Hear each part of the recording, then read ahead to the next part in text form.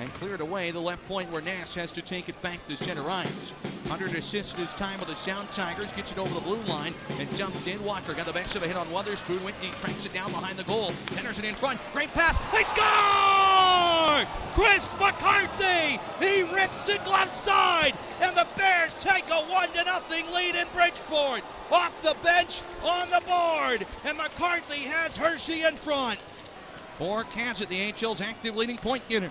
Left wing side to Wahlstrom. Cuts it in towards the net. Shoots one wide of the blocker's shot. It comes back in front. Gersich diving. Not now. Wahlstrom then overskated it. Poked to center by Jayson Megna. Great play. Now he tries to beat Aho the puck. He scores! Jayson Megna, a short-handed goal. He wins the race and roofs it. It's 2 0 for the chocolate and white. He gets it back and cuts towards the net front. Back to Vande Sompel. Wrist shot hit a body in front. A nice block there by Aaron Ness, I believe.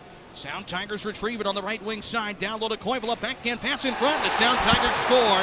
It's a power play goal for Kieffer Bellows. 5.39 to go in the second period. Bridgeport responds, and they've cut Hershey's lead to 2 to 1. Johansen back behind the goal. Puck pin free. Left point Aho. Right side Chris Bourque. With it to the goal line. Matt Lorito with a puck. Back to Chris Bourque. 2.20 in the game. Low to Lorito. Bottom of the near side faceoff circle. Back up top Aho. To Lorito again. Bouquet Molina Mail penalty kill. Aho's wrist shot stopped by Samsonov the rebound. They score. Bridgeport ties the game. Steve Bernier with 2.08 to play on the 5 on 3 power play, and we're even at 2. 6.35 in double overtime. 1.30 left on the Sgarbossa tripping penalty. Chris Bourque, near side Aho, back to Bourque. You know he wants to shoot it. Goes down low, Bellows spins and shoots. He scores. Kieffer Bellows wins it on the power play in double overtime. 6.24 left in the second overtime. Bellows is second of the game, ends the affair, and Bridgeport wins 3 2 to take a 1 0 series lead.